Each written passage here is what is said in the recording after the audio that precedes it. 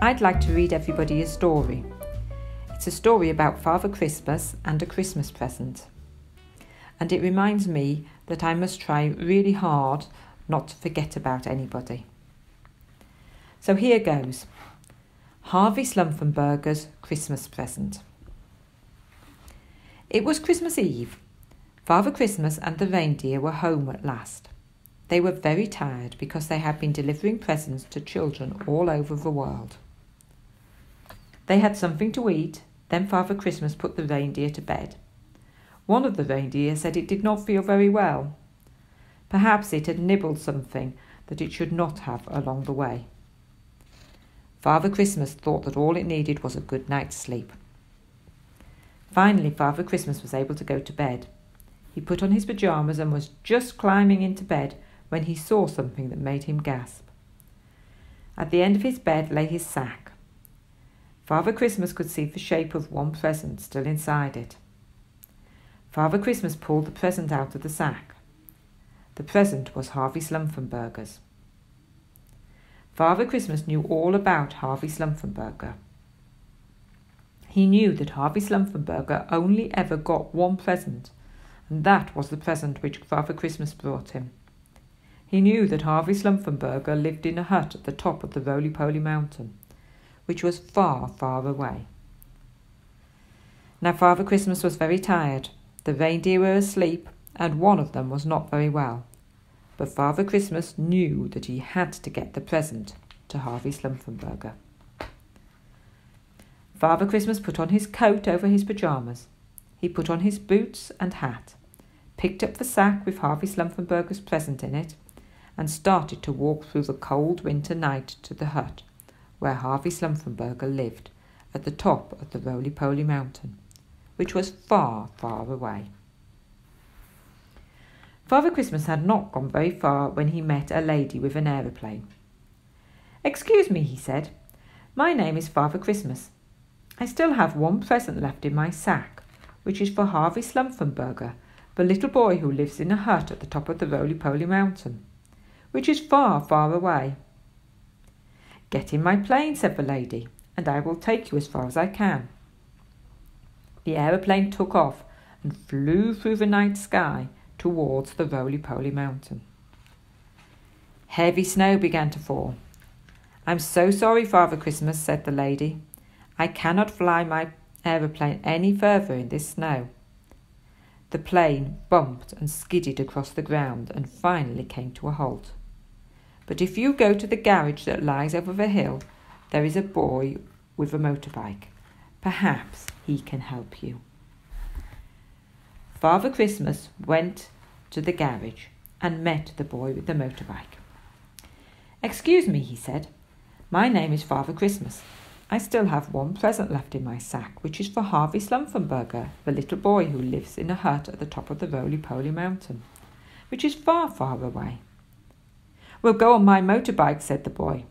I will take you as far as I can. The motorbike roared off along the road towards the roly poly mountain. But they had not gone very far before the motorbike slid on some ice and they both fell off. I am so sorry, Father Christmas, said the boy. The front of my bike is all twisted and I can take you no further. But if you go across the valley and into the woods, there is a girl who has skis. Perhaps she can help you. Father Christmas went across the valley and into the woods where he found the girl with skis. Excuse me, he said. My name is Father Christmas. I still have one present left in my sack, which is for Harvey Slumfenburger, the little boy who lives in a hut at the top of the roly poly mountain, which is far, far away. Stand on the back of my skis, said the girl, and I will take you as far as I can towards the roly poly mountain. They had not gone very far when the skis broke and they both tumbled into the snow. I am so sorry, Father Christmas, said the girl. My skis are broken and I can take you no further. But if you go on up the slope and down into the plain, you will be near the bottom of the roly poly mountain, where there is a climber with a rope. Perhaps she can help you. Father Christmas went up the slope and down onto the plain where he found the climber with the rope. Excuse me, he said. My name is Father Christmas.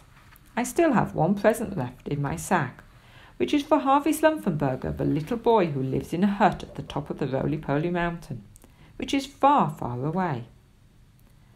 Hold on to my rope, said the climber, and I will take you as far as I can up the roly poly mountain. They had not climbed very far when the rope broke, and Father Christmas very nearly fell off the roly poly mountain. I am so sorry, Father Christmas, said the climber. My rope is broken, and I cannot climb any higher.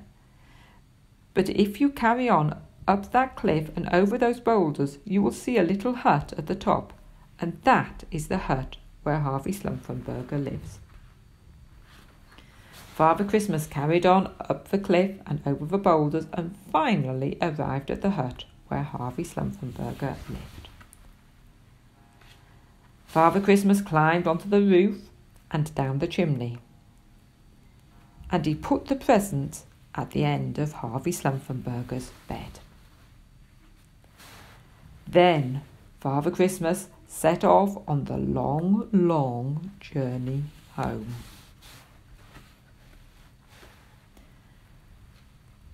Finally, he got back. Father Christmas checked that the reindeer were all right and tucked up in bed and as the sun began to rise on Christmas morning, Father Christmas climbed into bed and was soon fast asleep. In the hut at the top of the roly poly mountain, which is far, far away, a little boy whose name was Harvey Slumfenburger looked at the end of his bed and saw his present. I wonder what was in it. Happy Advent time, everybody. Bye.